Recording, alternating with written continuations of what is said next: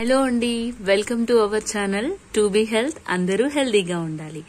మీరందరూ హెల్దీగా ఉండాలని మన టు బి హెల్త్ ఛానల్ ఎప్పుడూ కోరుకుంటుంది.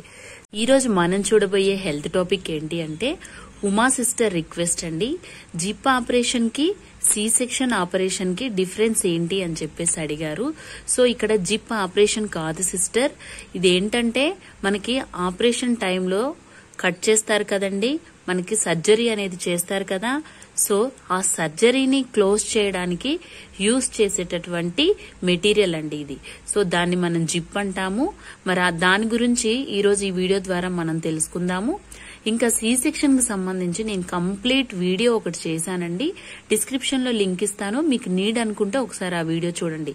సో ఇప్పుడు మనం లేట్ చేయకుండా వీడియోలోకి వెళ్ళిపోదాం. ఇప్పుడు మనం ఈ జిప్ సూచర్స్ గురించి తెలుసుకుందామండి. ఈ జిప్ని zip surgical skin closure device అని చెప్పేసి అంటారు. ఈ జిప్ క్లోజర్ డివైజ్ అనేది ఒక స్టెరైల్ మెడికల్ డివైజ్ అండి. సో దీన్ని యూజ్ చేసి సర్జరీ ఇన్సిషన్స్ సి సెక్షన్ టైంలో యూజ్ చేస్తారు. లాసరేషన్స్. ఏమైనా డీప్ కట్స్ అయినప్పుడు క్లోజ్ చేయడానికి జిప్ యూజ్ చేసి ఆ ని క్లోజ్ చేస్తారు. Zip surgical skin closure device గురించి చాలా మందికి తెలియదండి మనకి సూచెస్ స్టేపుల్స్ గ్లూ ఎలా అయితే వూండ్ క్లోజ్ చేయడానికి యూజ్ చేస్తారో దాని బదులుగా కొన్ని సర్జరీస్లో ఈ జిప్ని యూజ్ చేస్తూ ఉంటారనమాట ఇది ఒక నాన్ ఇన్వేసివ్ ప్రొసీజర్ అండి. నాన్ ఇన్వేసివ్ ప్రొసీజర్ అంటే ఇందులో ఎలాంటి ఇన్స్ట్రుమెంట్స్ యూజ్ చేయరు. మీకు అర్థమయ్యేలా చెప్పాలి అని అంటే దీన్ని ఏంటంటే నార్మల్గా వూండ్ క్లోజ్ చేయడానికి దానిపైన అప్లై చేస్తారండి.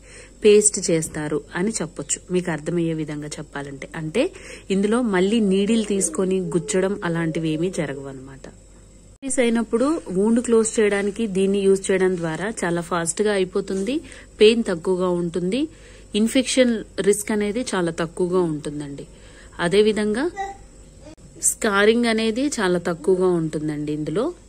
ఊండ్ కాంప్లికేషన్స్ కూడా చాలా తక్కువగా ఉంటాయి. నెక్స్ట్ మనం చూస్తే మరి ఏ ఏజ్ వాళ్ళకి ఈ జిప్ డివైజ్ని యూజ్ చేస్తారంటే eighteen to fifty five years మధ్యలో ఉండాలండి. ప్రైమరీ సి సెక్షన్ వాళ్ళకి యూజ్ చేస్తారు. అదేవిధంగా పేషెంట్ విల్లింగ్ ఉండాలండి. అంటే పేషెంట్ ఓకే నాకు ఈ జిప్ డివైజ్ని యూజ్ చేయండి అని పేషెంట్ విల్లింగ్ ఉంటే మాత్రమే దీన్ని యూజ్ చేస్తారు.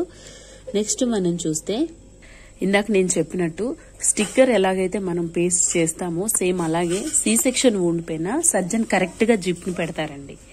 కరెక్ట్గా పెడతారనమాట ఎందుకంటే మళ్ళీ ఒకసారి పెట్టిన తర్వాత మళ్ళీ దాన్ని తీయడం అనేది ఉండదు కాబట్టి చాలా కరెక్ట్గా చూసుకొని ఆ పొజిషన్ కూడా కరెక్ట్గా వూండ్ పొజిషన్ చూసుకొని దానిపైన పేస్ట్ చేస్తారు.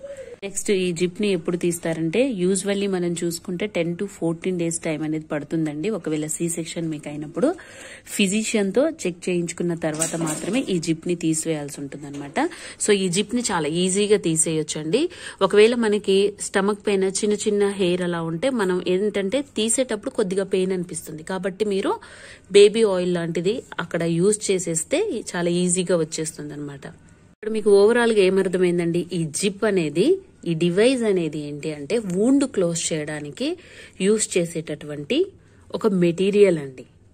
మెయిన్గా వీటిని కాస్మోటిక్ సర్జరీస్లో ఎక్కువగా యూస్ చేస్తారండి. ఎందుకంటే స్కార్ అనేది చాలా తక్కువగా ఉంటుందన్నమాట. అంటే ఎక్కువగా కనిపించదన్నమాట. కాబట్టి మెయిన్లీ కాస్మోటిక్ సర్జరీస్లో ఎక్కువగా ఈ జిప్ సూచర్స్ని యూస్ చేస్తూ ఉంటారు. సో మీకు అర్థమైందని అనుకుంటున్నాను. నెక్స్ట్ మరొక వీడియోలో మళ్ళీ కలుసుకుందాం. Until then bye bye